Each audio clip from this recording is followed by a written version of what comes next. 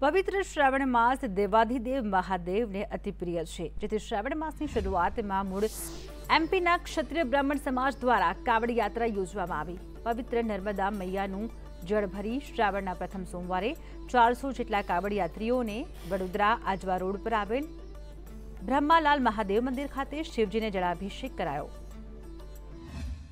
हमारे हिंदू धर्म की ये परंपरा है सनातन धर्म की जल अभिषेक सावन के महीने में नर्मदा जी से पैदल यात्रा करके लाते हैं। जो मनोकामना होती है भक्तों की, वो हमारे श्री ब्रह्मलाल महादेव जी की अनुकृपा से पूर्ण होती है।